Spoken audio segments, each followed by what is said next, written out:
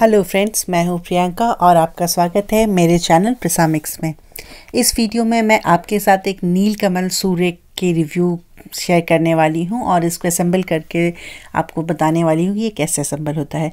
तो ये देखिए कुछ इस तरह से ये हमें रिसीव हुआ है। बहुत ही अच्छी पैकिंग है, बहुत ही कॉम्पैक्ट सी पैकिंग थी इसकी। ये हमने डबल स्टोर वाला सूरेक लिया है, जिसमें सिक्स रेक्स हैं।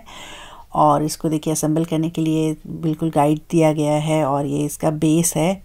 ये बैक साइड जाएगा और ये फ्रंट में जहाँ पे लॉक होगा डोर वो यहाँ पे है। और इसी तरह का सेम इसका टॉप भी है, लेकिन जो टॉप है, उसके ऊपर उसका लेबलिंग की गई है नेम लिखा हुआ इस तरह से ब्रांड का तो वो जो है, वो टॉप पे रहेगा। और इस तरह से देखिए, हमें डोर फिक्स करना है, जो स्मूथ फेस है, वो फ्रंट में रहेगा और जो स्मूथ नहीं है, वो बैक साइड में चला जाएगा।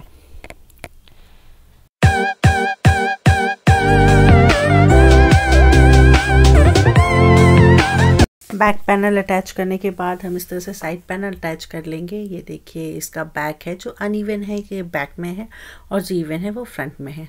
और ये देखिए, साइड पैनल है, ये इस तरह से सेमी सर्कल है। तो जो सेमी सर्कल जो माउथ ओपनिंग है, वो ऊपर साइड रहेगी। तब हम उसमें अपने रॉड्स एडजस्ट करेंगे, जो रैक समय दिए गए हैं। फिर दोनों कैबिनेट को मतलब दो फ्लोर में मैंने कैबिनेट लिया है तो ये दो जो कैबिनेट है, उसको इस तरह से पैनल्स दिए गए हैं अटैच करने के लिए, हमें इसके ऊपर एक और इस तरह से अटैच हो जाएगा, जो थोड़ा ये बड़े साइज़ का है। जो छोटे साइज़ का अगर आप लेंगे तो इसके ऊपर सीधे टॉप फिक्स हो जाएगा, लेकिन मैंने थोड़ा लार्ज साइज़ लिया है तो इस तरह से दो ब्लॉक्स में रिसीव हुआ है मुझे। तो इस तरह से देखिए, बीच में ब्लॉक्स लगाने के बाद हमारा ये दोनों पैनल अटैच हो गया है, और उसके बाद हम इस पर टॉप अटैच करेंगे।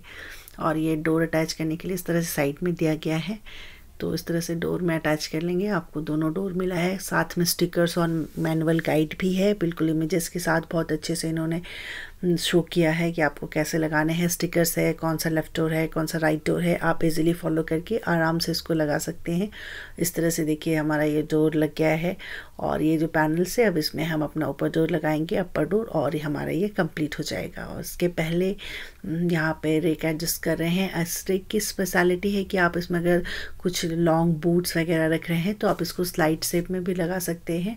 तो आप लॉन्ग शूज़ वगैरह आसानी से इसमें रख सकते हैं। तो अगर आप अपने लिए कोई अच्छा सा सूरैक ढूंढ रहे हैं, जिसको आप बालकनी में भी रख सकते हैं, ये बिल्कुल अच्छा है, बिल्कुल अच्छा कॉम्पैक्ट है, कोई भी वाटर इसके अंदर जाने की कोई प्रोबेबिलिटी नहीं है। अकॉर्डिंग टू मी तो ये काफ़ी अच्छा है स्टडी है स्ट्रॉन्ग है।